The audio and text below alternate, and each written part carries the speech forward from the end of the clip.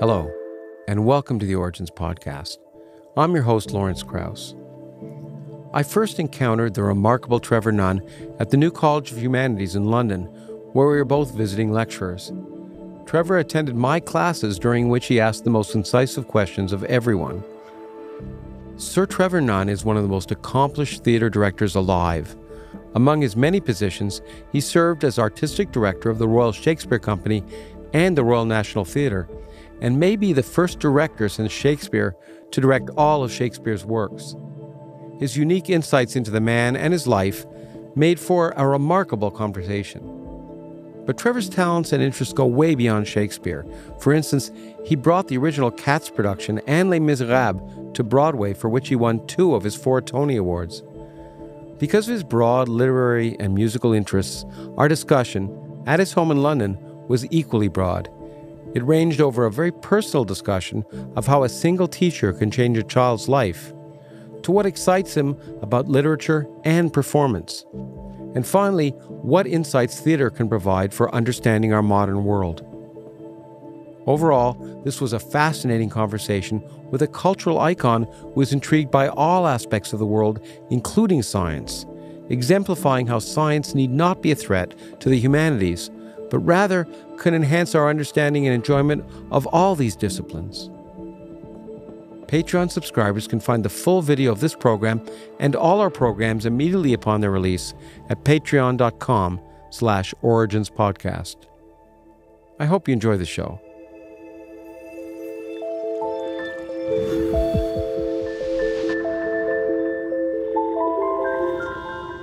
Trevor, thanks for welcoming us here to uh, your quarters here, and it's it's uh, it's it's great to be here. But let me let me start with a question I've never asked you: uh, Why Shakespeare? That's a very very big question. Well, and that involves um, a considerable part of my early life story. Um, uh, I had no knowledge of anything to do with William Shakespeare until I was 12 years old. And I went to see a school production of a play called A Midsummer Night's Dream. And so many of, we call them sixth formers, uh, mm-hmm. uh, who I kind of was uh, in a kind of idolatrous relationship with, you know, these wonderful guys who played for the the tennis team and and the rugby team and and all of that were now up there doing a play and and I I was absolutely enraptured and I began to imitate one of uh, the performances. Mm-hmm. Um, it was it, it, was a guy who was playing the role of Bottom, uh. and I thought those speeches were absolutely hilarious, and. Um, on various occasions, um, uh, my parents and my sister and I would go visit um, relatives uh, who lived on the other side of town um, for a kind of tea. Oh. And while I was there, I began my bottom impersonation. um, great hilarity everywhere. And then my aunt said, um, "Hold on, hold on. I, I, I, I, I just, um, I, I'm going to go try and find something." And she disappeared, and we thought nothing of it. And she was gone for, I guess, a half hour. And she came back, and she was blowing the dust off a book. Ah. And it was the complete works of William Shakespeare, Shakespeare, that she'd been given as a school prize oh. when she was 12 or 13 or 14 years yeah. old and had never opened it, never looked at it. Oh. And it was in an attic. and I was presented with the complete works of William Shakespeare. Um, you see, we live in a random universe. Yes, we and, do. And that little random moment completely changed my life. I mean, the, the, the, the various things that aided and abetted mm-hmm. because mm-hmm. I had a wonderful English teacher, but, but by which I mean English literature sure. teacher. And he was so, so brilliant at um, expounding Shakespeare but making it live. Um, that awful thing that I guess many students were, were so horrified by when the teacher says, just let's go round the class and read mm-hmm. the words. And there you go, that's that scene in that Shakespeare play, and it's deadly mm, and, Yeah, and sure. dreadful. And this teacher could bring it alive. He he he could make you understand how the language has so frequently not changed. Mm-hmm. Um, and and how those characters are entirely still recognizable. He was absolutely wonderful. And then, of course, it turned out that that teacher was the director of the school play each year. So my idolatry then transferred to him. Oh, I was so okay. You're anticipating so many questions of mine, but okay. and so uh, but, um, through him and and um, through then starting to see Shakespeare plays, I became absolutely passionate about the greatest of all dramatists. Well, I knew I'd heard you had a a, a a teacher at an impact. I think for all of us, teachers have had an amazing impact. It's it's it's a not only an underappreciated profession, uh, but I think that uh, te- good teachers. I was going to ask about this. Good teachers, as I think as you say, did not don't just tell you things; they help you discover things. And in the in the way he brought Shakespeare to life for you, helped you discover for yourself, right? He was a very, very remarkable man. I discovered as I got to know more about him that he wrote poetry, um, that he had written um, uh, a novel that he just about managed to get published, but I think it probably had a readership of 10.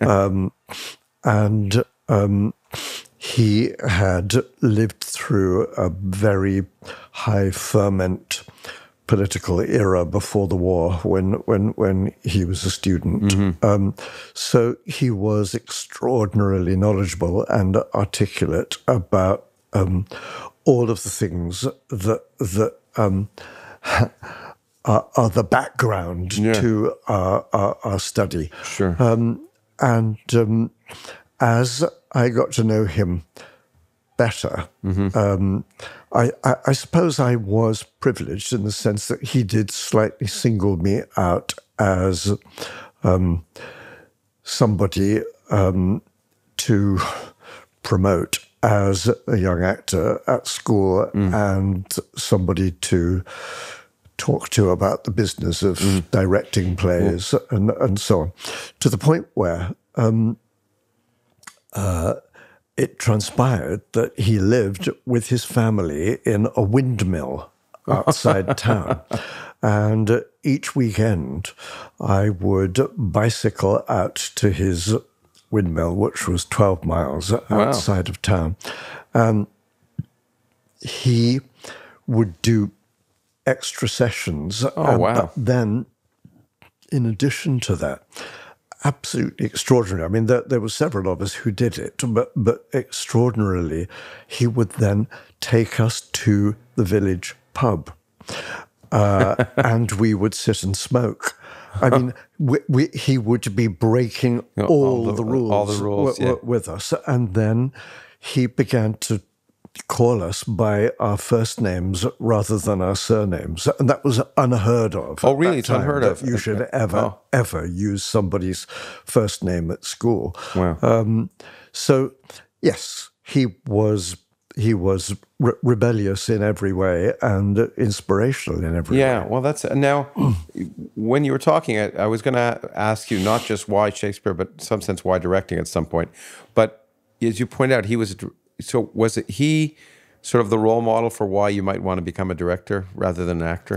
Um, that was one very, very potent uh, ingredient. But um, uh, in this random world, something else happened. When I was 13, I, I read a paragraph on the front page of the local n- newspaper, small industrial town. Um, uh, that said that the local professional theatre was um, seeking um, a, a, local boy to play a, a, a part in, in, a rather famous American play called Life with Father. Mm-hmm, um, and uh, that auditions would take place, and and, get, and I, I I cut out that little paragraph and I didn't tell my parents. And I went to the appointed place and I auditioned, and there were a huge number of kids there. And um, I was then asked to come back. I still didn't tell my parents, and so I went back a week later. A callback, we a callback, we, yeah. we, now refer to it as, yes. and um, I was then told, "We want you to play the part." So I then had to a tell my parents and b negotiate with the school that I would need certain periods of time off lessons. And the headmaster was very unwilling, but eventually that wonderful English teacher persuaded and persuaded, and I was given permission. So I found myself in a rehearsal room with a group of, as it transpired, absolutely brilliant young professional actors. Oh. I mean, the youngish actor playing my dad. Mm-hmm was a man called Paul Eddington, who who um, about 15 years later became an absolute national treasure. I mean, he was mm-hmm. on television 3 mm-hmm. times a week in various series, and the the the girl playing the cousin who was visiting was an actress called Wendy Craig, and she had a giant TV success just a few years later, and. Um, very amusingly, the actor playing the the the the vicar, the the the the, the local minister, um, was an actor called Clive Revill, and Clive went to America, became the original Fagin in Oliver oh. in, in, in, the American production, went over to Los Angeles, had a film career and a TV. I mean, um, wow, that's really a staggering influence on a 13 year old. Yeah. So, of course, I, but at that point, only only the theatre was was the the, the pathway for me.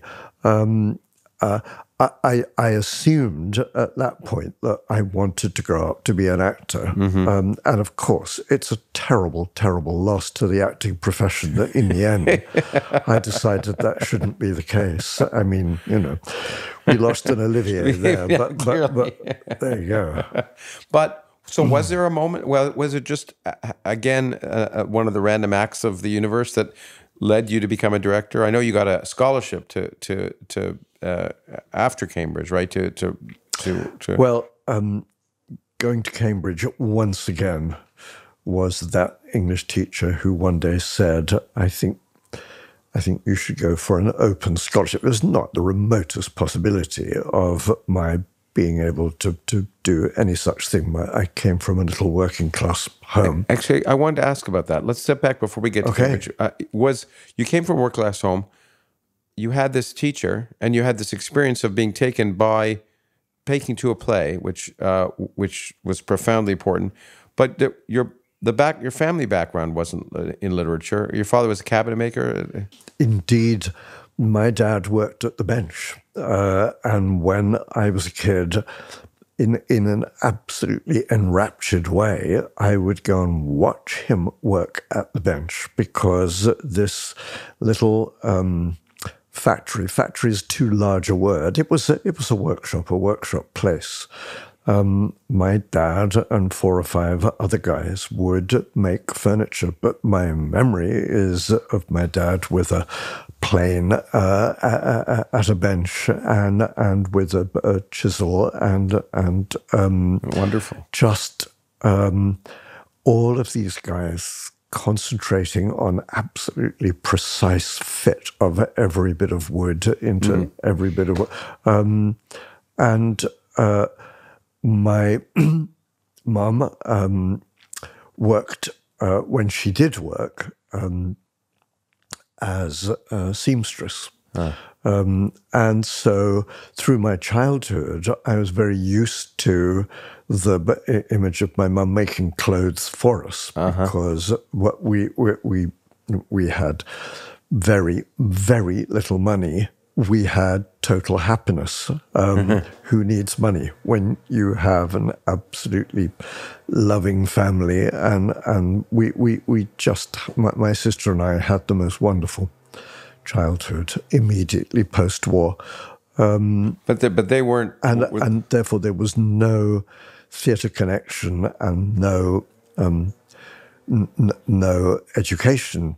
no real connection. My- literature in the house. My, my dad left school when he was fourteen. My mum left school when she was fifteen, um, and and so they the, they had no knowledge of of the kinds of things that I was studying. Um, they that they were at times slightly alarmed, slightly concerned, slightly worried that I was doing things like Latin and and French and and I was going to wonder. I was wondering if they wanted chemistry. To, might be worried with literature acting as a potential profession about the, the likelihood of making a living. Were they, were they did they want you to go some, into, into a Oh, more the, completely, completely the opposite.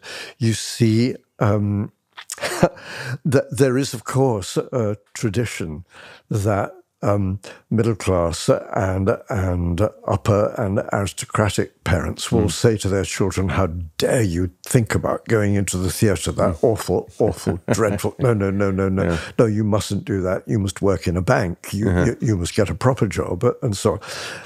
my parents were totally enthusiastic Oh, and wonderful. and because there was just the possibility that if you did something like that you could get out of Uh. the the environment that that that, that risk didn't didn't um, enter their minds. Oh, just the wonderful. The possibility, possibility that you all- could get up and out And then and then and then I I'd interrupt you, but that's sort of what happened in a way through at least this open scholarship. so that's where you were when I interrupted you to ask about your parents. But Well, your that- teacher had encouraged you. teacher said, I think um, you should have a go. And, and I felt completely unequal to that task. So that's when a lot of these extra uh, teaching sessions came in. He would meet me early in the morning at 8.30 and do some stuff ahead of school and then through the lunch break while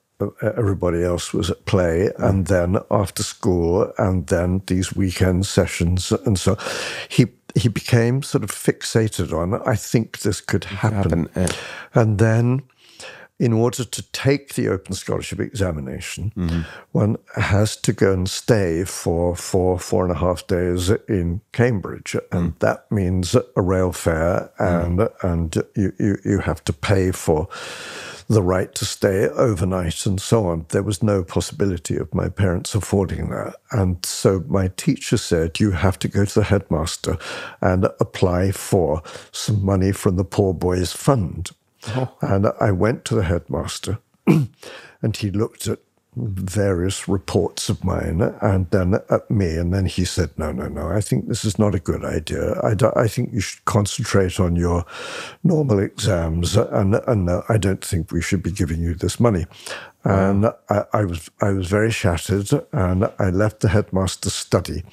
The next person to walk by was that English teacher. Mm-hmm. I don't think that was an accident. Accident. I think he was waiting. I think he came down the corridor, and he then said to me, "Okay, is is everything fine?" I said, "No." He he refused. What? He refused. Yeah.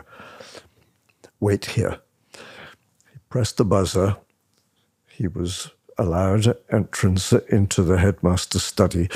He was away for three or four minutes. He came back out and he said, "It's all right. You have the money." I said, "What? What? What, what? what? Did you do? What did you say?" And he said, "I resigned." Really? This is like a play. It is extraordinary, isn't it? Um, he he said to the headmaster, "I resign my position if you don't give this boy this money."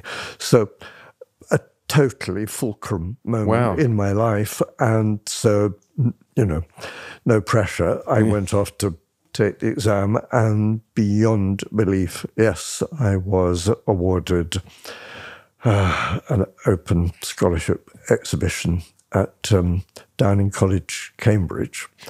Um, in some sense, the rest is history. well, the rest is history because I, I, didn't fully realize it at the time, but um, Cambridge was the university, almost uniquely the university that provided so many talents mm-hmm. into the theatre business, the comedy business. Mm-hmm. Um, uh, footlights. There just was a tradition, yeah. the Cambridge Footlights. Yeah.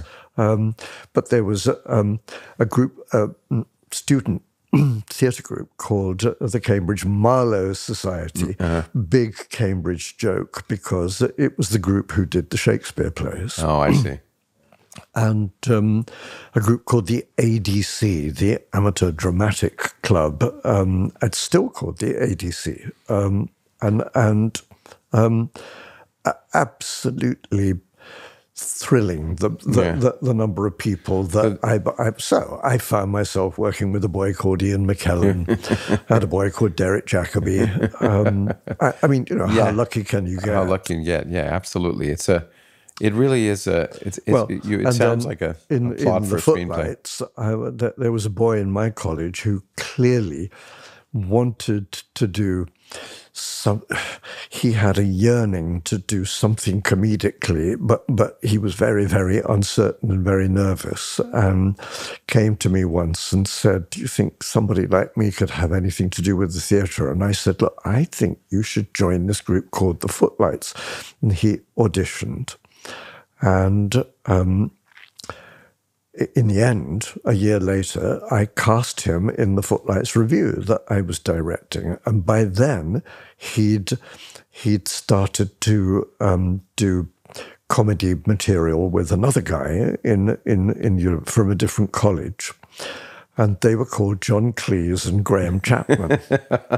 um, I, I, mean, that, that they were doing Monty Python material uh-huh. at that time. time. They were they were so different from anybody and everybody else, and outrageous. It's amazing so, the collection. I guess it's happened in physics too. By the way, that there's this period of ferment where you know they're great scientists, but I think they're also great because they were surrounded by others who help push them or motivate them.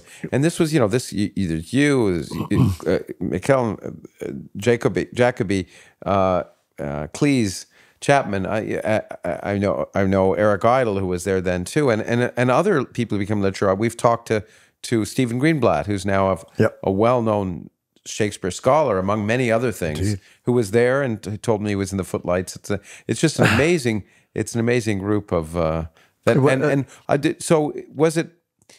Uh, surely the the presence of all these others must have had some other impact on you.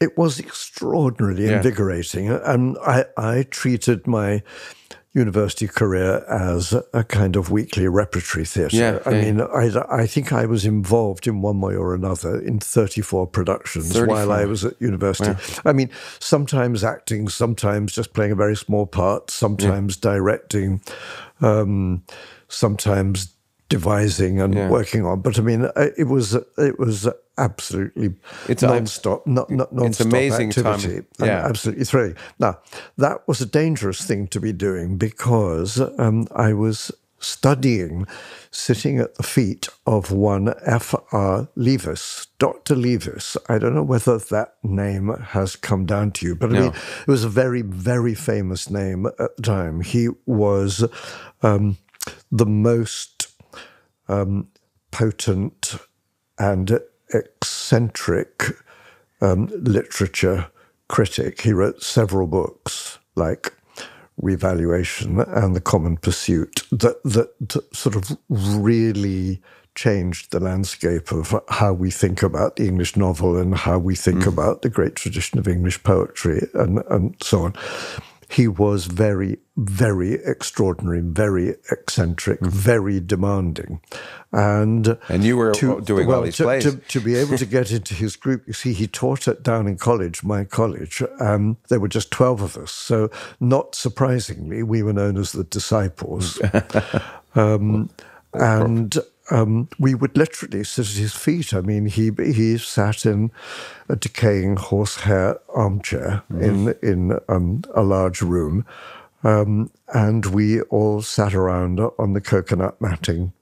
Um, uh, l- listening to his very droll stories, his very sly jokes, and his extraordinary, extraordinary opinions and revelations. But I mean, he was he was also rebellious.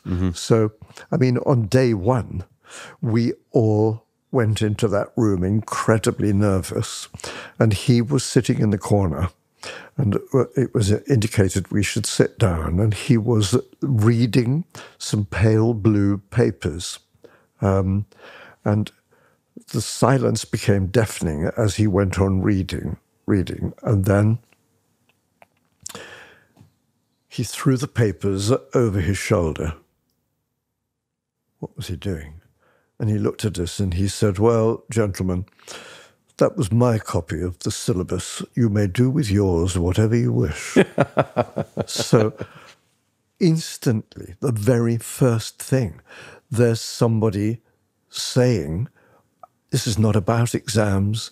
This is not about toeing the line. Uh-huh. This is not about a system this is that, that this is about your predilections. This is about how um, uh, uh, how, you respond. Of course, the last people in the world you would expect to be able to understand that would be a group of actors.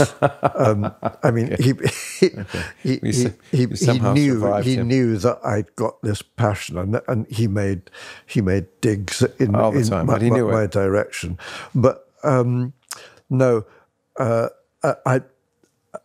My, my misbehavior was that I should have been producing an essay, a major essay once a week, and yeah, a lot sure. of written work twice a week, and I I was not achieving that, and I think he was fully aware that I was not achieving that, and amazingly, he let it go. You let it go.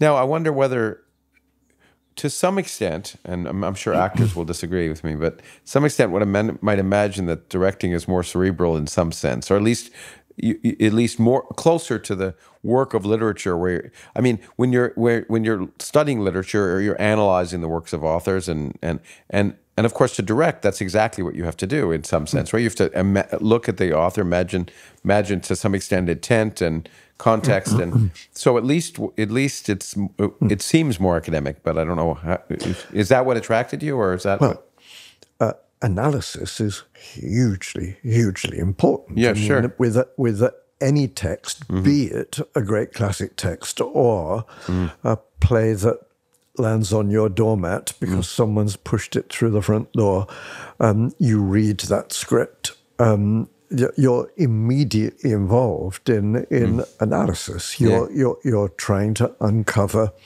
meaning and purpose and structure. Of course, you are and um, especially with um, new work, you're also involved in um, th- it, it, through analysis. Uh, you're involved in assessments of practicality, practicality about size of cast, about um, doubling and trebling of roles, about design, and therefore about budget.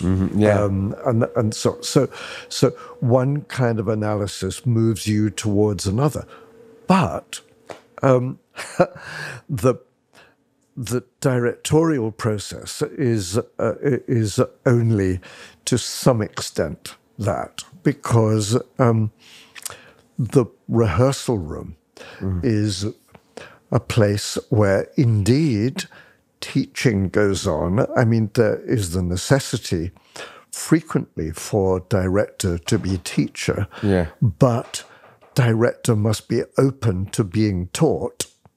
There's so much that comes to you Yeah. that you learn from So your, your, your, your, your colleagues, Yeah. and therefore you're adjusting. And of course, um, you also have to be, to some extent, um, a psychiatrist, a psychologist, a psychoanalyst, because you're dealing with different people under different kinds of pressure and and what are they concealing and what are they revealing and and how helpful are their moods to this process and and so on and how insightful. Then of course what you're doing is discovering character and meaning together. Um, there is a much more recent tradition of the concept production. the concept production, which is directorial diktat, it sort mm. of it reaches us really via the Russian theatre to the East German theatre. So I'm going back some decades, and then and then over into the rest of Europe, where the director can say, "Yes, um, there is this." Famous play, but what we are now concerned with is my version of this famous play. And so I see it as, and because I see it as, this is my concept, then everybody must yeah. be told you must do so. So discovery is, is, no longer part of it. Um, diktat is part of it. You do it like this. You do yeah, it like sure, this sure. in order to fulfill my concept. you will gather that is not a process that I'm happy with. Yeah, I was going to say it's clearly not a happy process. I've often been interested in the in the relationship between collaboration and creativity in a variety of fields like music and and art and literature and theater uh, compared to science because it's an interesting people don't think necessarily of science as collaborative but it is completely that with a give and take and a and the the the, the process you describe as as a director in fact, does remind me of the of the best of what can happen in in a in, in, with graduate students as a as a physicist, where it's it's of course there's teaching, but there's a tremendous amount of learning and give and take and unexpected results that come, mm. which I think is the most probably. I wonder for you as a director, I I know as a as a scientist, for me the most exciting thing is the unexpected results that come of that. That I when we I thought we were starting here and we end up over here. Mm. Similar things for you? Oh, very, very similar. And and I, I guess um, a number of scandalous stories that have reached us, haven't they? That that a Nobel Prize is awarded, but actually several people were oh. very much part of the process. Well, it's often the more, way. I mean, one person is awarded it, yeah. and and you know, more, more recently we know that. Um, uh, women scientists have had a hugely much more important role than than has been um, designated in terms of awards or or, or um, fame. Mm-hmm. Um, so, yeah, um, I'm I'm very very aware of the scientific collaborative process. I have a son who is a scientist who um, talks about his team constantly, um, and but, he, although he's very much the leader of the team, he likes to feel that he's part of a team. Well, it's and, yeah, but it's interesting you say that because science is collaborative; it's built on teams, and you're right. It, although uh, it's been surprising, amazing to me how uh, how. Uh, certain awards have ended up going to people who are uh, nevertheless really good, even though they re- represent a collaboration and they're able to do what they've been able to do because of the collaboration. They themselves are mm. really quite capable. But the interesting thing is, it's similar things happen, um, if not more so, in in theater and film, which is a culture of celebrity after all, where in some sense awards are given, but the whole for director or best actor or whatever. But but presumably it's almost exactly the same. Where that they're that they wouldn't be able to do what they did uh, or uh, without that collaboration. And it's, so there are many people who go unsung. It's kind of a necessity these days, isn't it, for anybody receiving an award for their speech yeah. to begin with, this is not for me, it's yeah. for everybody yeah. involved. And, and I want to pay tribute to the whole group, the whole team, and and then that nightmare that people have at the microphone where they fear they're going to forget names. Yeah, sure, course, and yeah. always somebody gets mm, left yeah. out, and so. But but of course that is absolutely accurate. That theatre, cinema, and and in, in so many cases. Um, um, uh, m- m- musical um, m- m- musical work is collaborative. Uh, whole teams of people are, Well, are yeah, involved, and one can't exist. One one achievement can't exist without the other. we seem to, have, but we do seem to live in this culture of celebrity that is is intriguing, especially intriguing. I remember when reading in, in ancient times, ancient Rome in particular, that that that uh, it was a di- totally different world. That the artist was separated from the art. That, that, that, that people could love the art and just say, well, the artist was some divine, you know, divinely inspired, but that the artist doesn't matter. Uh, It's the art. So the playwright doesn't matter. It's the play, and we just live in different times. Although, um, although, although I think it was, uh, I think Stephen Greenblatt was telling me in Shakespeare's time, it, he's sort of sad as a as a as a scholar, historian, uh, literary historian, that in fact it was that way, but that no, no one bothered to preserve many of Shakespeare's things. The plays were great, but Shakespeare himself wasn't. Wow. now, now, Stephen Greenblatt and you, you're, you're getting onto the huge subject where, to some extent, science is now having something to do with it, which is the identity of William Shakespeare. Shakespeare, yeah. And because relatively few artifacts, relatively few bits of physical evidence about Shakespeare's life and lifetime have survived, it leads people to question well, you know, was it really him? Did somebody else do the work? Did he just Some cash in at, at never- some point? Now, um, quite a lot of that is to do with English snobbery. Um, it's to do with the idea that a boy who was um, who grew up in a very small town and who was educated at a grammar school and then did not go to university and then went to London. How could he? How could he possibly have the the range and the vocabulary and the understanding, particularly when it's to do with um, stories concerning nobility, concerning royalty, um, concerning politics, and and so on.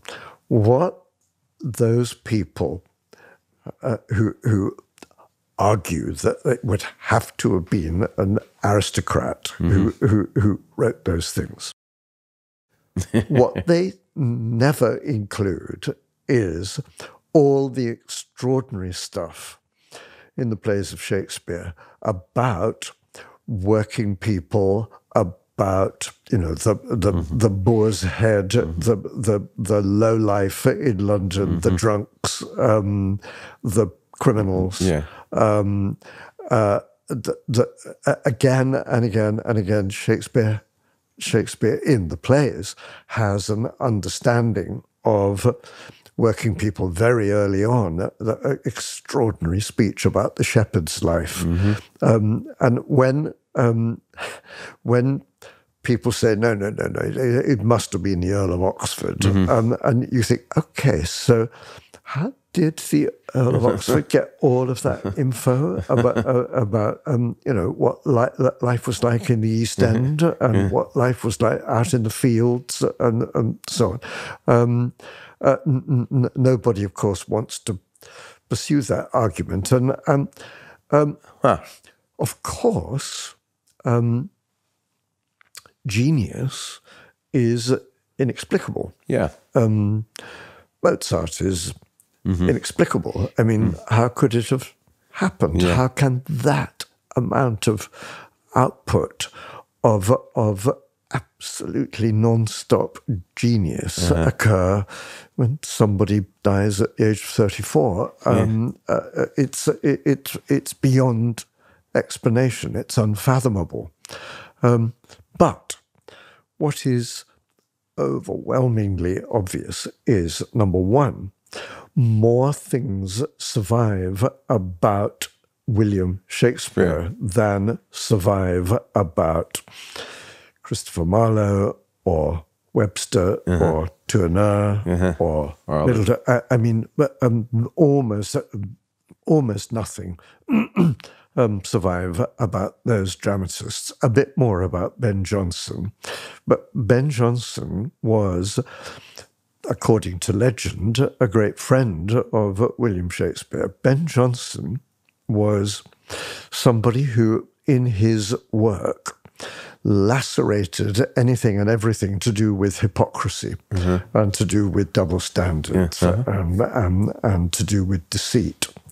Um, ben Jonson, after Shakespeare died, it's several years after Shakespeare died, two actors tried to put together the works of William Shakespeare mm. in a publication that we now know as the First Folio. Mm-hmm. And Ben Jonson is asked to write the foreword.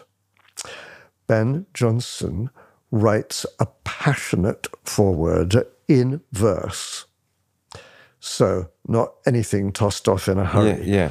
Written in verse, where he refers not just to Shakespeare, but to my Shakespeare. Uh. And for the first time ever in that passage, he calls Shakespeare Swan of Avon. Ah. Now, how and why would Ben Jonson, the scourge mm-hmm. of deceit, write that yeah. in the knowledge that really, really, really they were all written by the Earl of Oxford, whose family was a little bit embarrassed about being involved with something as low life as the theatre. and therefore, would you mind very, very, very much if you, I mean, it's just complete it's coming out tosh. Well, like, yeah, well, that's great. I mean, it's, yeah, I wasn't, I didn't mean to suggest that Shakespeare wasn't the author of the place, but, but, but it's but now we've now that we've dispensed with that. Well, but but no, no actually, there's one more, and I said that it's becoming scientific. Um, uh, very recently, um, computer science yes. is now able to assess mm-hmm. the regularity of word use yeah. and phrase use mm-hmm. in um, uh, ancient mm-hmm. documents. Yeah. And so a conclusion has been reached scientifically that the writer who overlaps in phraseology and mm. vocabulary most with the works of William Shakespeare is Francis Bacon the essayist yes. Francis Bacon. Yes. Suddenly now there is a theory of, ah, just a minute, Bacon wrote Shakespeare. Yeah, yeah. Now, Here's the thing when you read the essays of Bacon, mm. they are indeed linguistically um, wide ranging. Mm-hmm. They are articulate. They are extraordinarily dry. They yeah. are extraordinarily mm. humorless. And they involve no sense whatsoever of human character and human contradiction, irony, and, and, and, and so on. Um, so, what in the end you're left with is your instinct that you're reading something that comes from a certain kind of mind, a certain kind of person, a certain kind of observation, a certain kind of perception. Uh-huh. And it isn't that kind, yeah, it's sure, this kind. Sure, yeah. Now, I don't care how much computer science tells me that there is an overlap between one and the other. There isn't an overlap in the experience. Yes, there not an overlap in in the genius. Well, in fact, that's an actually an interesting qu- issue, which which I've been thinking about, and we'll probably deal with in in various uh, discussions I want to have. Which is, and you know, to the extent that AI can be can um, can can not be programmed, but can learn that. For, for example, I was just thinking when you're, when you're talking that I was just reading this week that a that the first book written completely by a computer was produced,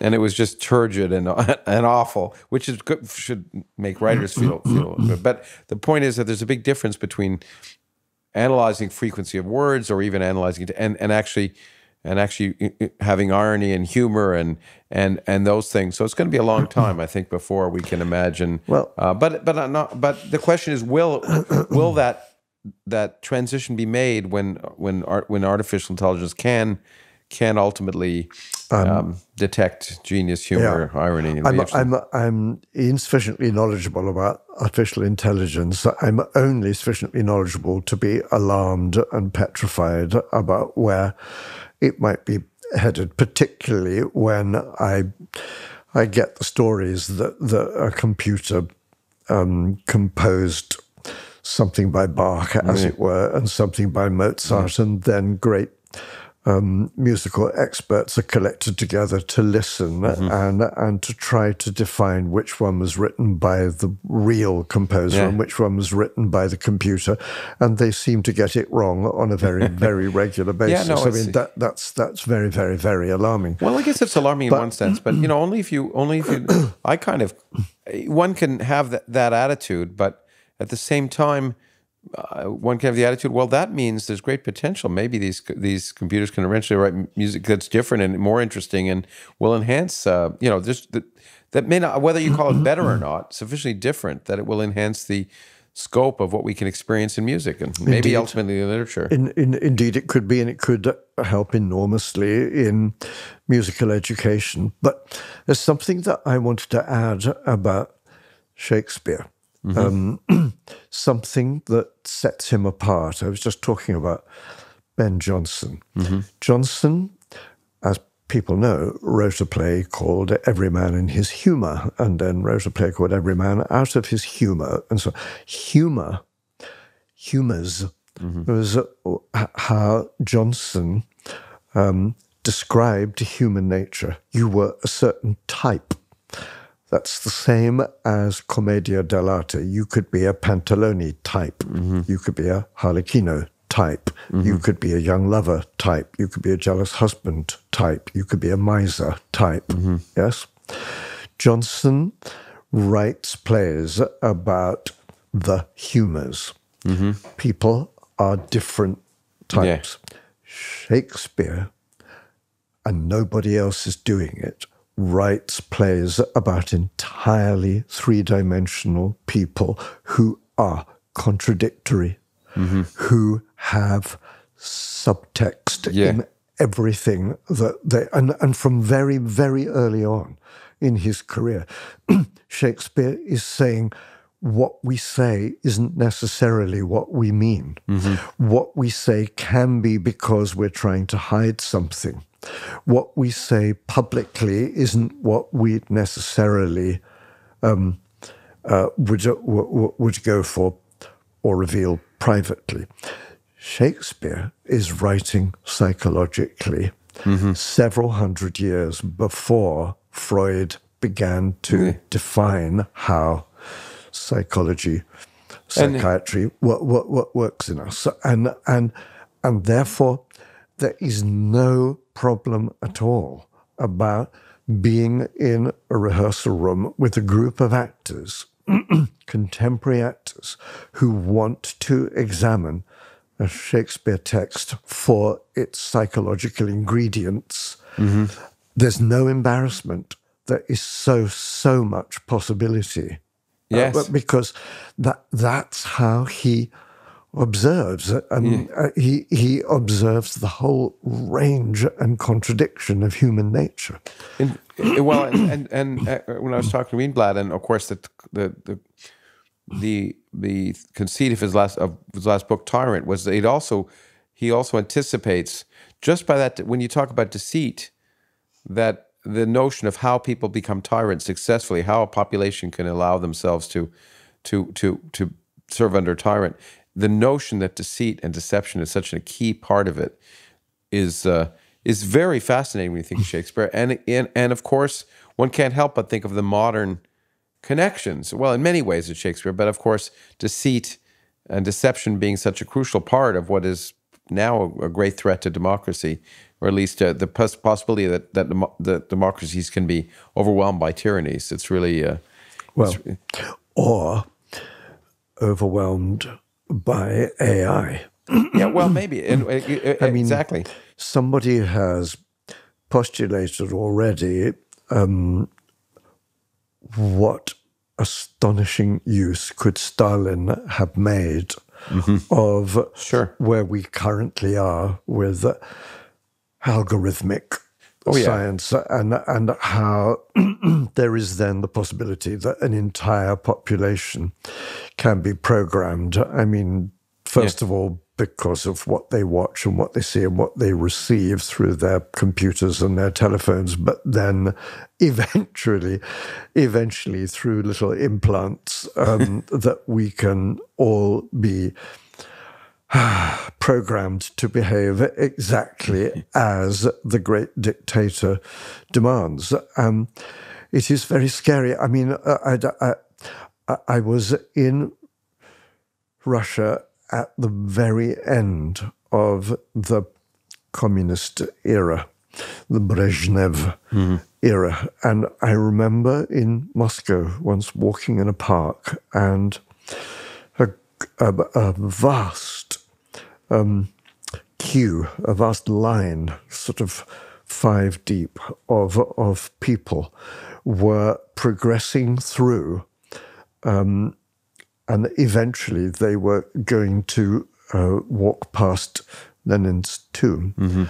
And I walked past this long, long, long line of five deep people. Yeah, I've been in And- Lenin's tomb. It's a huge line. Nobody was speaking to anybody. The, the, the, it was like you were walking past zombies.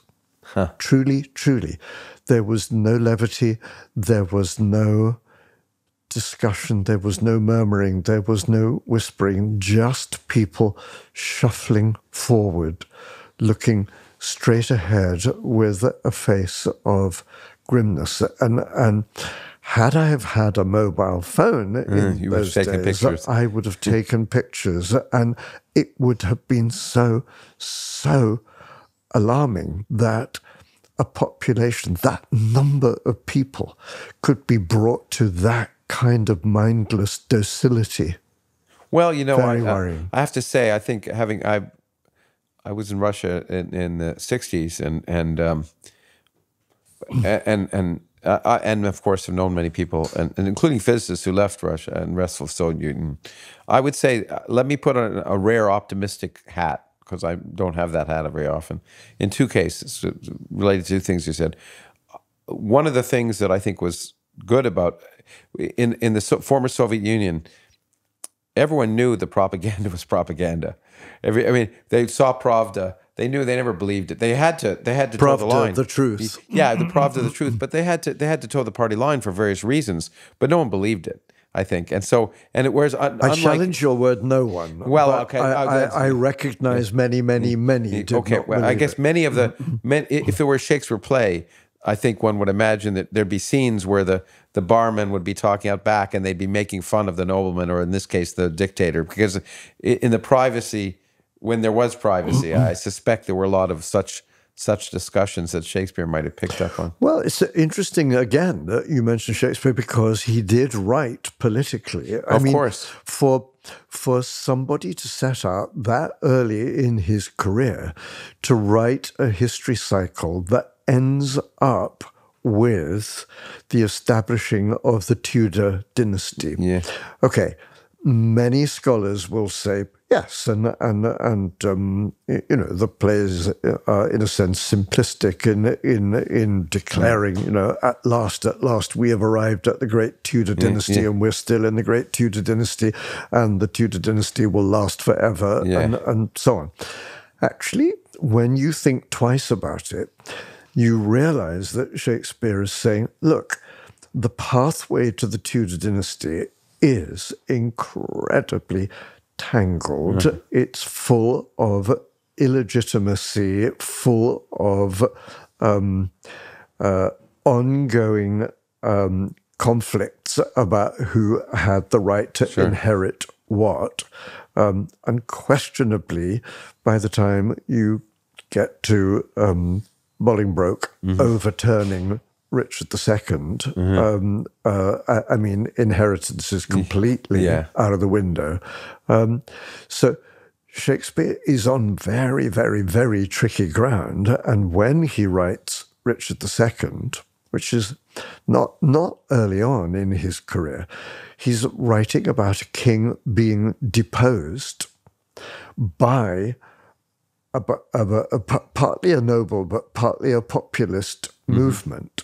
I mean, that is so dangerous for Shakespeare to be doing yeah. that at a time when Elizabeth is being mm. challenged by Mary, Queen of Scots, mm. and and mm. various other claimants to to, to the throne, um, and Shakespeare follows it through and has Richard II dethroned in a mm. prison, yeah, um, uh, and and eventually, eventually, Richard II sort of discovering a, a kind of humanity and insight that he never had before. Mm-hmm. Um, Throughout history, either in satire or, or fiction, uh, you can hide political commentary with a little safety. Just like you can in science fiction, you can include things that you could never.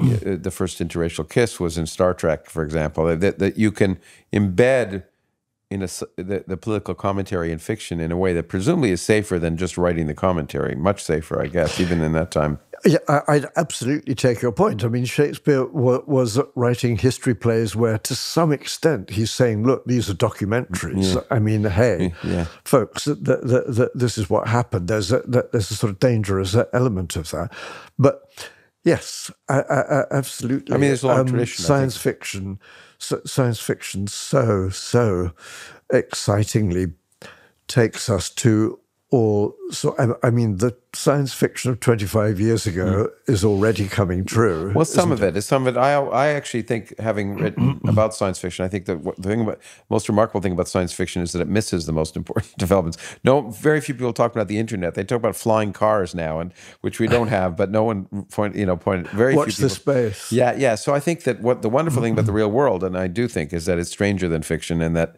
that that. Uh, that we can, with our imaginations, imagine a future, and it's and and there'll be some things that will match, but the most important things are things well, never anticipate. That's why, as a scientist, by the way, that's why I do science, right? If we knew it, because if we knew it was going to happen, it wouldn't be so interesting. I think as, but, as the fact that discoveries are change everything. Yeah, but and and of course, no one scientist or no group of scientists can have an influence on what to promote and what to freeze, mm. what's good for us and what's not, because everything moves forward down inexorable pathways all, all, all the time. We have to find out more, develop more, take it mm. further. But there is a growing question, isn't there? Um, which is a moral question rather than a scientific one. I mean, um, if we acknowledge mm-hmm. now, I mean,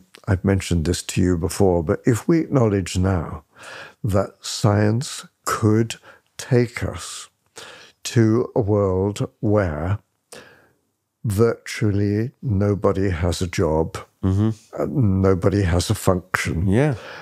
Therefore, it is necessary for of the world's population to be sedated and to be told what to do and to be provided with entertainment. And then, as science says, and you can live to the age of 150, mm. or no, actually, the age of 200, actually, we're just at the point of eliminating death. You can live um, eternally. Um, we have the the possibility, maybe even the probability of a vast species population that have been transformed into numbers, into morons, into well, into a kind of nothingness, to the point where Aldous Huxley, Brave mm. New World, could be coming true. An mm-hmm. entire population sedated and just hanging around looking at screens. Well, the, you know, the possibilities of the future are terrifying. That's why that, and they're also exhilarating, and that's why life is, in my mind, worth living. It could be, it could be. Un, I remember I, I've given some commencement addresses, and I always wanted to begin one with a commencement address I read, and it's been unattributed. Some people think Kurt Vonnegut, but he says no, where he began by saying things are going to get unimaginably worse and they're never ever going to get better again. I thought what a wonderful way to greet a graduate Sounds class. like what it to me. yeah, but uh, but uh, uh, the, I think the point is that well that may be true, but it doesn't have to be the true. Nothing is written, and and it could be, and there there are terrifying possibilities. I I can uh, an alternative ver- version of that, which is which uh, I first heard espoused by the economist Jeffrey Sachs, but but referring to the way Keynes, uh, the economist Keynes, talked about the industrial revolution and machines, as you know, clearly it could take people's jobs away, but, and and there's no doubt that AI will replace most jobs, but so that could lead to an, a, miserable world, but it could also lead to a world where we're where the jo- where we're free to spend to, spend our time in coffee houses talking about Shakespeare, listening to music,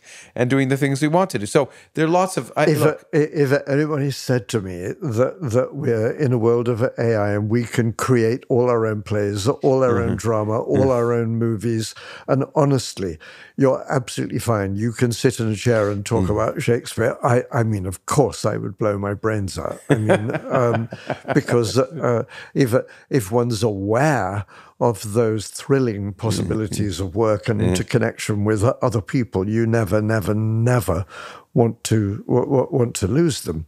But I I don't do, you I, I do sometimes fantasize, and I know that I'm in a territory of science fiction. But but um, you know, the, the the the world tried to come together with this notion of the United Nations that that um, representatives of countries, all of it, can get together and and can try to establish world peace, can can try to um, uh, somehow control wild behavior and and disallow um, unfairness between nations and so on. And it's had a very checkered history. We're not we're not good at taking moral oh, decisions Oh, I- I'm not on behalf of the rest of us. Oh, yeah. But I, I kind of dreamed that we need we need to go one stage further now than the United Nations. We need to have um, and, and this sounds very scary. We need to have a small group of wonderfully, wonderfully enlightened minds who are allowed to make the moral judgments about the future and to say, yes, it is fascinating, this kind of science, but actually, we're now going to put a stop to that Oh, well, because it is going to turn us all into morons. And this kind of science, yeah, no, you're, you're not allowed to develop nuclear bombs anymore. Uh, I, I mean, we've already been there. I just made a film about it. Mm-hmm. But um, um, uh, uh, uh, is there is there a need for some kind of moral uh, uh, uh, override? Um, and I know I'm getting very, very close to religion, some sort of godlike group who will say this is allowed and this is not Well, I allowed. think you're- no. But I fear we're going to need it. Well, you know, I mean, you're not the first, right? It, it, it, and the want, desire for enlightened dictators goes back to Plato or before. Uh, I think that that um, then, but I, I guess I'm less ho- uh, hopeful that that an in, because I think the most exciting things that happen are unforeseen. I think a group of people trying to imagine a mm, mm, future mm. just will inevitably get wrong, no matter how smart or talented they are. Moreover, again, I'll take the not the devil's advocate, but the optimist's advocate in this case, just for fun. I every uh, everything you discussed is possible. I also think, though, that that through developments, including AI, we could imagine a future that's just different. It may be. There's no doubt hmm. being human will be different, but it doesn't always mean it's worse. Let me give you an If example. that small enlightened group are guiding hmm. it. Well, maybe AI. Maybe AI the- is the one who should guide it because but that may that's certainly and in fact I suspect that will be the future. But but whether whether it's for better or worse. But let me give you an example that that goes back to storytelling, and then maybe we'll get to to something you just touched on. That that is that at the time in ancient Greece, when when writing was first being incorporated generally, Plato and others decried it and said that it will be the end of storytelling because storytelling is, is, requires an oral tradition which requires memory and people won't have memories and the whole idea of stories will just be go out the hmm. window when, if you can write them down. Hmm. And of course if without writing we wouldn't have had shakespeare or at least you and i wouldn't have had shakespeare. And so i suspect that that we can imagine a miserable future that isn't so miserable. It's just different. So let's, but let's let's let's move to well, we could debate that all day We- long. we- uh, okay, yes, but let, let's go back. But you you said you were beginning to be well. Some of the things you said about Shakespeare, and then this this question of being almost religious or biblical. The fact that Shakespeare understood humanity. There's a quote from you that I that I want to um, um, uh, that I like. Uh, you, when you said that Shakespeare was your religion, you said Shakespeare has more wisdom and insight about our lives, about how to live and how not to live, how to forgive and how to understand our fellow creatures than any religious tract, 100 times more than the Bible. I'm sorry to say that, but over and over again in the plays, there's an understanding of the human condition that doesn't exist in religious books. I, I find that absolutely right, although I don't see why one should be sorry to say that.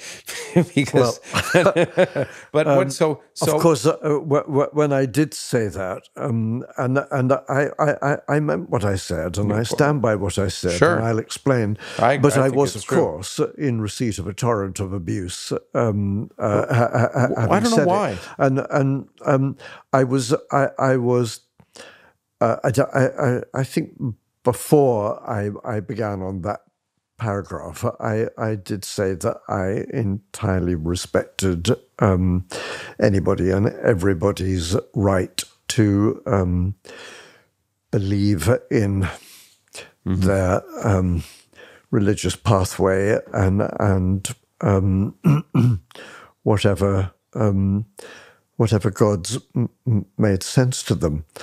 Um, I I I was brought up going to Sunday school. I mm, mm, was therefore part of the the the sort of church community. Um, I became a choir boy. I became a server at communion. I I then um, uh, became qualified to take communion. Um, I became the cross bearer. I would read the lesson, we all bear um, crosses. and and then one day, um, just the contradictions of it all, the impossible contradictions Sure. that we're confronted with in religious texts just overwhelmed me to, to the point where I, I, I, I, I, I became um, almost convulsed, and, and uh, it was in the middle of a service, and, and another huge contradiction had just occurred, and I found myself leaving with with with, with my robes, with, with my my white and black um, religious robes. I, I I went to the vestry. I hung them up. I went out, got on my bike, and I, I, I never never went went, back? back.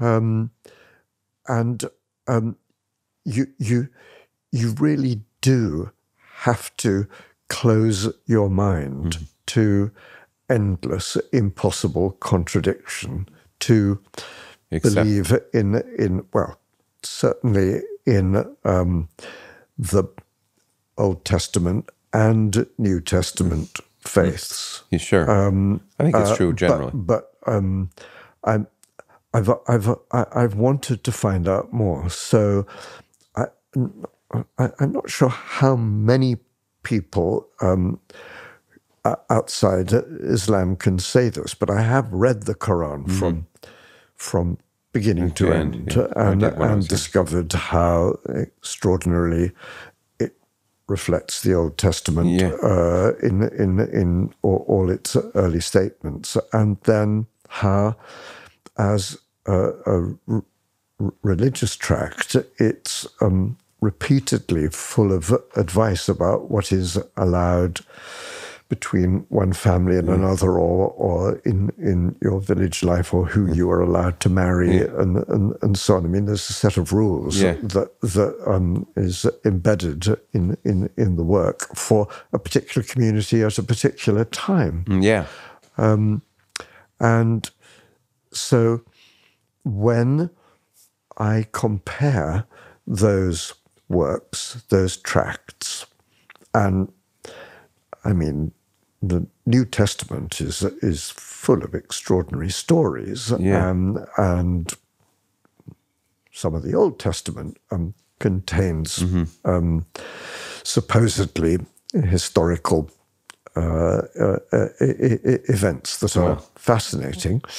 Um, uh, even so, when I consult Shakespeare almost on any random page, I will find an insight about our condition that is more complex, that is more understanding, um, that is less judgmental Uh-huh. Absolutely. about about who we are and how to attempt to live together um, uh, in in community or indeed worldwide. Well, you know, let let me jump there because I think that I want to um, I, I want to have a few more questions for you that that that bring us in some sense from Shakespeare to today. That that wh- what i- i- given that taking that thought with Shakespeare and hopefully some playwrights today, what what can theater do in the current times? What what what what can theater accomplish in in the modern world that that you see as um, enlightening or helpful for for uh, it to uh, for us to at least reflect on our current circumstances? what you're asking a very, very fundamental question about theatre, Yeah. and of course, to some extent, it applies all the way back to the Greek dramatists. It definitely applies to Shakespeare that theatre responds to a contemporary world. Theatre takes up issues moral debate, political debate of the time, frequently disguised in works of history, in in in works that refer back to earlier generations, but um, uh, the the plays are saying, "Does this ring a bell with you?" Because isn't this to some extent what's happening now? And and and the judgments that we're making in this play. Do you understand these are judgments we could or should or shouldn't be making now? Shakespeare is constantly referring to a, a contemporary world. Now, through the 19th century, the theatre became uh, ever more a, a leader in how um, we define society. I mean, um, there is the strict morality of 19th century Victorian society being challenged by Ibsen, who has Nora walking out on her husband and her children because she is treated as an object, not as as a fully fledged human human, being. being. and it's the first overwhelming feminist work. Mm-hmm. Um, I, I mean, Shakespeare wrote feministically many, many mm. times, Yeah. and I don't, by the way, believe that those parts were all played by boys. But that's mm. another another big, big, big question.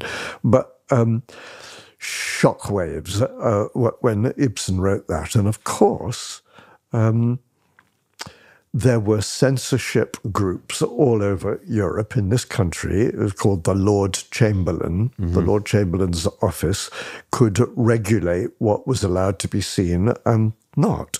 And of course, the Lord Chamberlain's office said you can't see Ibsen's plays. They are disgusting. Yeah. They are lo- lo- lo- loathsome. They are immoral. Strindberg then went on and did even more, Yeah. challenging the idea of marriage, challenging male behavior, but, uh, and indeed sometimes challenging female behavior, but but um, but um, very confrontationally about society. As we get into 20th century, George Bernard Shaw is writing politically. Um, writing, uh, you know, in M- Major Barbara, a play about the obscenity of armaments, mm-hmm. and uh, at a time when he should be subscribing to um, the whole idea of empowering your nation with more and more we- weaponry. I mean. Um, shocking, shocking. Um, Harley Granville Barker, who was a contemporary mm. of George Bernard Shaw, and I've just amazingly had the experience of doing a Harley Granville Barker play that has been discovered just recently, and uh. I did the world premiere of it uh-huh. last uh. year, uh. that would never, never have been given performance permission by the Lord Chamberlain. A play that's 120 years old, and we've just done it for the first time because it's about a woman who feels she has the right to walk out on a marriage. She has no yeah. rights of divorce. Mm-hmm. She has the right to take up with another lover and not be judged by society, but she is judged by society. She's beyond the pale. She has the right to go away with that lover and live in another country and work as an artist and then decree that that is not working out and then take another lover. Mm-hmm. I mean, Barker is writing. Uh, at, uh, at, the turn of the century, something that would never, never have been given performance. Yeah. Now, at the moment, as we get more and more and more up to date, theatre is more and more the leader of the agenda rather than responding or rebelling. theatre and to some extent cinema, but I would say most of all theater mm-hmm. is saying you might find this outrageous, but we are doing things differently and we're writing about different things. More so, with more, more freedom than film. That's well, cinema. Maybe because I, the budgets I, are. I, I, would say, you know, because of the certificate system to some extent is still with us, and mm. films are hugely expensive, and yeah. therefore you can't, you can't. Um, deliberately decide to go for a very small audience because of of or, of uh, the, the um, certificate risk, uh, that you get. confronting the current but, uh, moral yeah. whatever. At the moment um, the agenda would be spelt A G E N D E R. um, I mean, uh, everything to do with gender, everything to do with sexual inclination is now absolutely central to the work of theatre. So, uh, I mean, you know, for for many decades past, people have bravely written about gay relationship mm. and gay rights, mm-hmm. um, and and and and have have won through re- re- mm. repeatedly, and and and then that entered the cinema, and and and, uh, and that now there is a, a, absolutely no possibility that that that people can can get away with homophobic re- yeah. reaction, but um, currently we are concerned with gender, uh, partly because of the huge influence of the Me Too mm-hmm. m- movement and all of the different movements that are akin to it that um, really do demand that the woman should be at the center of the story, should be in some way controlling or judging or defining the, the, the, the story because we can't any longer subscribe to an, uh, an idea of any sort of male domination, male decision making, and, and, and, and women being subservient to that. So, hugely, hugely plays concern that subject, but also gender in the sense of defining gender, cross gender. Um, are we are we any longer satisfied that there is just male gender and female gender when we know mm-hmm. that people can be immensely uncomfortable being defined as one or the other, and mm. why not be defined as both, um, and and so on. Drama is beginning to present that, and a great deal of the time present that through casting. A lot of the time, roles that have always been associated with male performance are now being cast with the female performer. So, just re- recently, I know in New York, there is my colleague Glenda, Glenda Jackson mm-hmm. playing King Lear, but just recently in London, Richard II has been played by a woman. Hamlet has been played by a woman. Um, in Stratford, I used to run the Royal Shakespeare Company. Mm. So yeah. in Stratford, um, they are about to do, or possibly even have done, a, a production of The Taming of the Shrew, mm-hmm. in which Petruchio is played by a woman and Kate is played by a man, so that the control is the opposite way round. Now, all of that is reflecting where we are, is leading where we are. That's all absolutely splendid and right and, and, and is doing with the theatre what the theatre has always done. Every time when that has occurred, there is a swing of the pendulum. Mm-hmm. The pendulum takes takes us more and more and more to the, the this shocking or or or um, to an extreme re- re- rebellious extreme, mm. and then the pendulum begins to swing are you suggest, back. Are you suggesting I think at the moment, at the moment, the pendulum is swinging very, very, very far round. To the uh, my, my only point being, if every entertainment, if every play subscribes to the same notions, then audience begin to feel or are in danger of feeling that wherever they go, whatever they do, they're seeing the same thing. Mm-hmm. Um, and so their yeah. visits need to be it's less time. regular. You worry and, when people subscribe uh, to whatever the current so, moral.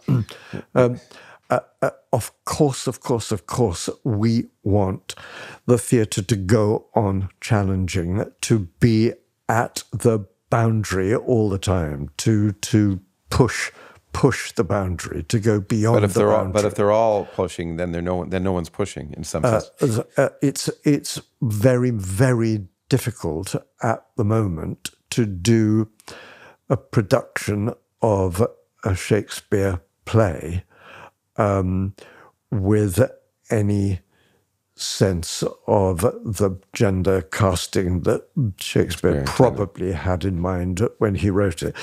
That's a fascinating question. I'd love to talk about it longer. We don't have time right now, but let, let me let me. No time. No, What's no. going on? Unfortunately, an airplane beckons, but, but, no. But there's two there's two things I want to I want to touch on, but uh, and we'll we can continue our conversation in, uh, in in this regard another way in terms of you hit one current area. Uh, let me just say we're living in time. We're talk, we're speaking in Britain right now, and and Brexit is happening. And and I was going to ask how you thought plays might reflect Brexit. And I think I, there's another there's another quote of yours I found, which is personally I think The Merchant of Venice is relevant for Brexit because it tests the character of a person who made a terrible deal and whether he will go through with that exacting with with exacting the terms of that contract. And so I, I, gather you reflect that's exactly the dilemma that that that that the United Kingdom's in right now. Well, many of the things that we have talked about touch on the idea of democracy. Mm-hmm. Yeah. And in an increasingly AI world, what is the meaning of democracy if a population can be controlled yeah. towards one inclination or another. what is meant by democracy? Now, we're not at the moment in the AI world, yeah. but we are in a world where it's possible to hugely influence mm-hmm. a voting population yeah. through social media, through Facebook contact through anything and everything that arrives on your telephone. And if one group wanting something are more sophisticated or that much more ahead of the game in how they use those techniques, they can subvert what might have been in the old days democracy into um, what, what, what, we can influence a, a, a, a vote frequently without truthful argument. Now, and you're suggesting, talking, I think that's that's what's happened in Brexit. Well, we're, we're, we're talking about politics for centuries, yeah, aren't yeah. we? That, that people don't necessarily tell the truth, and yeah. people um, manage to get votes for what they stand for by all kinds of me- methodology. But um, unquestionably, what was promoted as Brexit mm-hmm. three years ago, what was promoted as this is all straightforward and it's simple, and here are all the benefits to the point where millions will become mm. instantly free for mm. our own National Health Service yeah. and all this horror of of uh, immigration will all disappear, and and we will all have all the jobs that we want, and so um, was completely erroneous, and the people who promoted it knew that it was erroneous. Mm-hmm. They absolutely knew that they were influencing millions and millions of people with false information.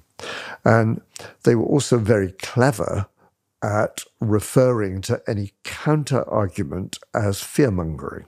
Mm, interesting. Um, and, and so um, uh, the, the, the, the, but people who opposed Brexit, who who believe that it is a wonderful thing that Europe now exists, where it's impossible for Europe to go to war because the last few hundred years have been the history of Europe going to war yeah. with each other, with each other, with each other, absolutely non-stop. Um, we must get beyond that and and share our cultures and and share our background and and share our enlightenment. Um, for those of us who think that, uh, to be accused that we were scaremongering um, is, is, uh, is, is very hard to take.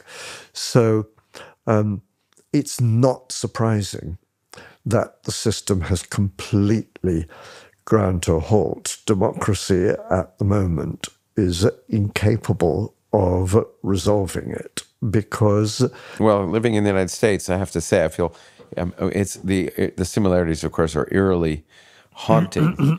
do, do, you uh, let me say uh, most? I know from having talked to scientists that, that many concerns about Brexit and, and Europe, but but from an artistic perspective, just besides the harm to the potential harm to the country from an artistic perspective, from a, a theater perspective, would do you see a, a, a, you're also concerned about Brexit in in that oh, sense as well? At, at every level, um, to do to, to do with um, enlightened European funding mm. for all kinds of projects, towns, cities, um, uh, um, uh, long term projects. The, the, the European funding has been brilliant for so much of that. And I that think will, a lot of people don't realize how much comes from Europe. Oh, absolutely. Yeah. And, yeah. and, and, that will all disappear. Um, uh, but, of course, what will diminish is the extent to which we share and the extent to which we exchange. Exactly. When what we should be doing is sharing more and exchanging more. more. It's always um, yeah. And is... of course, just personally, um, I love going over to France. There's a wonderful, wonderful machine um, that's been invented in the 21st century called the Eurostar.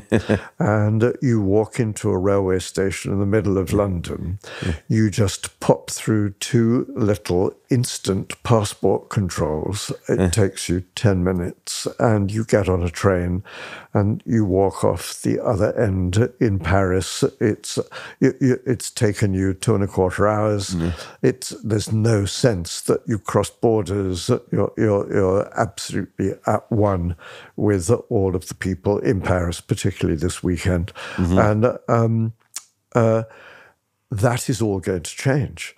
That is all going to be. Well, ah, well if, if you if are British, you have to be in a passport queue, and and we're not going to hurry you up because you've just left our European Union, so you can queue for two and a half hours, and then there'll be another passport queue at the other end, and we're not sure that we recognise this passport. And, yeah. and well, as someone is who's it someone, will be hell. Yeah, I guess as someone maybe, maybe Britain's still holding it against the United States because someone who goes through pass, two-hour passport queues to come into England now, I'm particularly sympathetic to that. But let's the final question I I, I want to ask you is so uh, we've concentrated Shakespeare, but we but but we should point out that you you're, you're the, the the range of theater that you have been involved in is immense. Besides the fact the original production of Cats and Les Miserables, many things for which you've been acclaimed and won Tony Awards. What what uh, what haven't you done that you'd like to do? Oh gosh, that's I, mean, no, I don't want the whole list. that's but a very big one. one. Well, I don't. I um, I, two, three years ago, I would have said, uh, I, I, I, want to complete doing all 37 of Shakespeare's 37 plays, and I've now done that. So I'm very, very, very, very happy. happy. that's a target.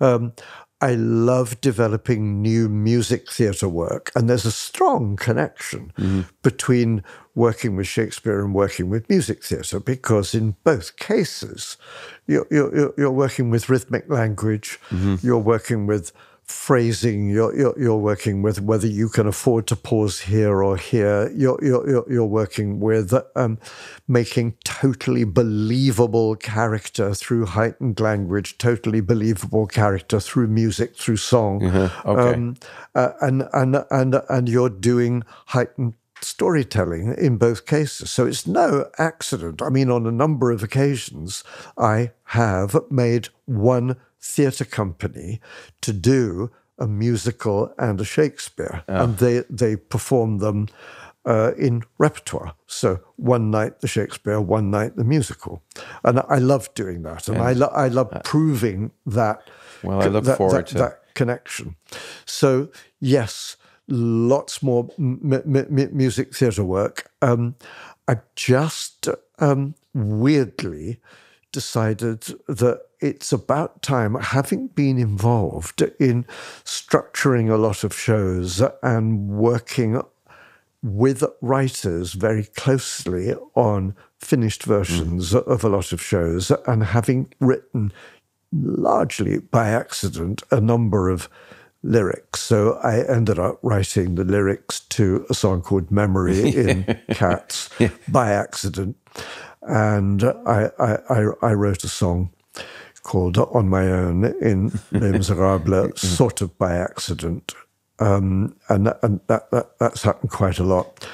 Uh, just recently, I've thought I'm going to write the book and lyrics of a, a musical. So oh. watch the space. Oh well, like we can't. I can't wait to see that, and I hope you'll also expand into uh, I know you're fascinated by science too, science and theater. Oh, oh well, I'd love to do something with you together at some point. Oh, yes, yes, yes, yes, yes. Let me now. Uh, that that yeah, that was a very good cue that you just given me because wouldn't it be wonderful with the agenda to go one stage further and say where can theatre and science co-create. I mean, wouldn't that be thrilling? No, truly, I, I agree, I, I and that's that a wonderful, wonderful beginning for another. Especially because from where you're sitting, you see, you've got headphones on and uh, you've got a beard and you've got a very, very strongly receding hairline. Thank you. I've got to tell you,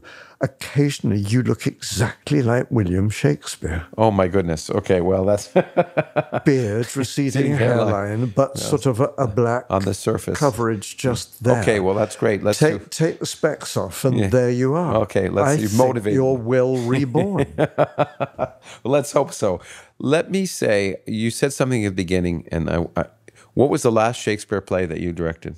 I directed a Midsummer. That's what I just. The, this poetry in this is Well- beautiful because it occurred to me when I at the beginning of this dialogue that the Mm-hmm. very first play that you saw that excited you was a Midsummer Night's Dream, and I knew the very last Shakespeare play you directed was It Midsummer was, Night. uh, it was I just can't think of anything more poetic than that. It was partly accidental that that uh, I was going to do a production of A Midsummer Night's Dream, and and a genius colleague of mine called Peter Brook, I finally persuaded to to come and do a show at the RSC, and I said, "What's it to be?" And he said, "Well, what I really really would love to do is A Midsummer Night's Dream." And I heard myself say, "Oh yeah, wow, that would be wonderful." Forget my, um, and of course he did a production so famous that nobody wanted to do the play for the next twenty five years. Um, so it was sort of accidental that it came late, but um, I then realized if I can do all 37, I should do it last of all. And not only that, I contacted the theatre in my hometown. And they were very, very thrilled. So I was able to go back to my hometown and I did my final Shakespeare in the place well, where now I saw I've my first your, Shakespeare. your early life was theatrical, you've it's clear that you you weave theater into your life, and it's been a wonderful it's been wonderful to have a small scene in the Well, play that is your life. W- w- William Shakespeare actually wrote those words in King Lear. The wheel has come um, full circle. I am here. and I'm glad you're here. And let's thanks again. Thanks, Trevor. Thank you. Lawrence, thank you so much. The Origins podcast is produced by Lawrence Krauss, Nancy Dahl, Amelia Huggins, John and Don Edwards, Gus and Luke Holwerda, and Rob Zepps. Audio by Thomas Amison. Edited by Evan Diamond. Web design by Redmond Media Lab. Animation by Tomahawk Visual Effects. And music by Rickolas. To see the full video of this podcast, as well as other bonus content, visit us at patreon.com slash originspodcast.